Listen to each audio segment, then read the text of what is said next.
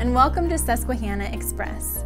Today I have Reverend Skip Spangler here to tell us a little bit about his outreach with this church into the community. His church is the York Otterbein United Methodist Church. Thank you for coming. Thanks. Can you tell us a little bit about how the breakfast got started that you have? Breakfast began in 2001 as an outreach of the church to the YMCA men's residence, which is located right across the street from York Otterbein Church. Okay. And you just, uh, did the people supply, the people of your church supply the food for that? Yes. Um, people of the church have always supplied the food. Okay. Um, in the beginning, various Sunday school classes and groups in the church served breakfast from month to month. And then over time, a, a core of people began to serve the breakfast each month. Um, a lot of the food is supplied in partnership with the York County Food Bank. About how many people show up for these breakfasts that you hold once a month? Typically 75 to 100. Um, on a clothing giveaway day, which is twice a year, we will serve typically 175 people. Yesterday, we served 146 people on a non clothing giveaway day, which was a record. Wow. So do you think there was more advertisement for it, or how do you think? We don't advertise. No? Okay. Um, what we know is that on the third Saturday of the month, whatever date that is, people will line up at the door of the church at 8 o'clock.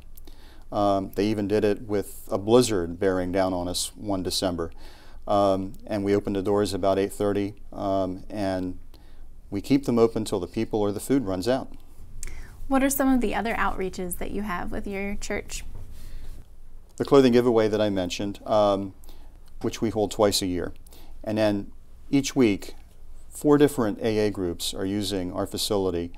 Probably about six to 700 people every week are through our facility through the four AA, AA groups. Wow. In addition to that, Grace Place, which is a Sunday service, um, 915, a hospitality-based service um, with media, with praise and worship, with a message, and a little feature we call community time.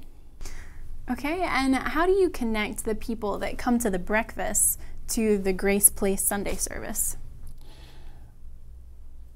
We invite them. Um, they know to, to be there um, through word of mouth, mostly, um, through invitation at the breakfast. Um, if they come to the, to the Saturday brunch at 8.30, um, they're in a good place to come at 9.15 to, uh, to Grace Place Sunday morning. Hmm. Okay. Um, so, do you have time then to actually have some of your members go out and talk to the people that come to the breakfast then and get to know them a little bit? Yeah, we do. That's really a, a big piece of the breakfast. Mm. Um, one of the things that's really true about the breakfast is over the years that we've done this, there is a community that's formed. Um, we see people month to month. Um, we get to know them, we get to talk to them. Um, over time, um, they begin to ask about the church. They begin to ask about Sunday services in Grace Place. Um, they may hear from other from their friends about the service.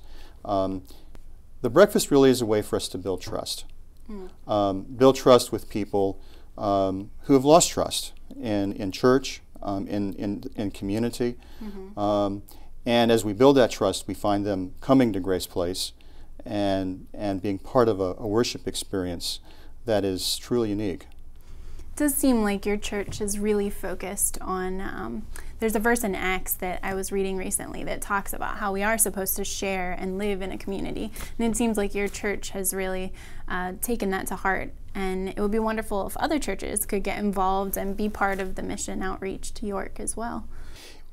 We are seeking partners.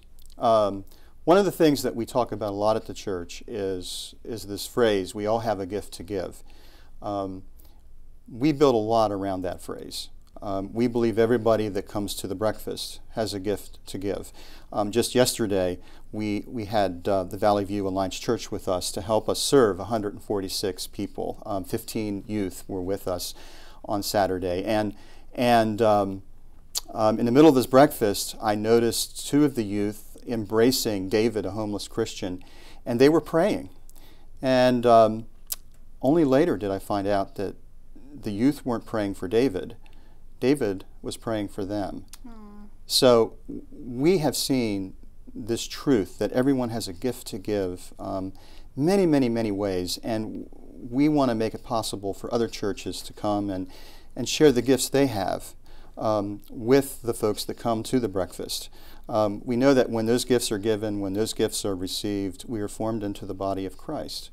And um, one of the ways churches can do that is to email us www.yorkotterbein.net um, and um, um, let us know they'd like to partner or, or call the church office 854 0851.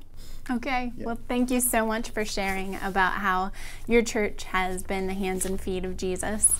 And if you would like to learn more about how you can get in touch with his church and become part of this ministry, make sure that you check my blog at susquehannaexpress.blogspot.com.